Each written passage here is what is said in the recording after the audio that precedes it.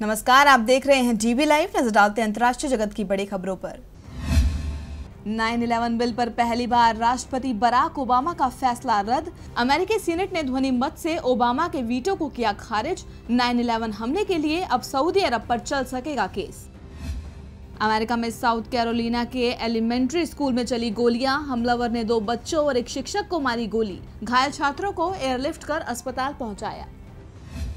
अमेरिकी सुरक्षा सलाहकार सुजेन राइस ने भारतीय एनएस अजीत डोभाल से की फ़ोन पर बात, उड़ी हमले की निंदा की, कहा आतंकियों पर कार्रवाई करे पाकिस्तान। पाकिस्तान के रक्षा मंत्री ख्वाजा मोहम्मद आसिफ ने भारत के खिलाफ उगला जहर, कहा कश्मीर के आज़ाद होते ही भारत के हो जाएँगे टुकड़े। भारत की तरफ़ से नहीं मिले सकारात्मक नतीजे।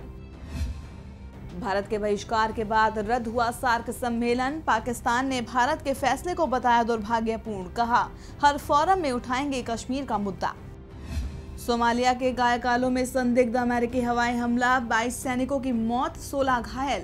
हमले में आतंकी संगठन अल शबाब का कोई आतंकी ढेर नहीं। चीन के झेजियांग प्रांत में भारी बारिश से हुआ भूस्खलन। 32 लोग लापता। पानी के तेज बहाव में बहे लोगों के घर। तो ये थी अंतर्राष्ट्रीय जगत की बड़ी खबरें। देखते रहिए डीबी लाइव क्योंकि यहाँ है खबरें लगातार।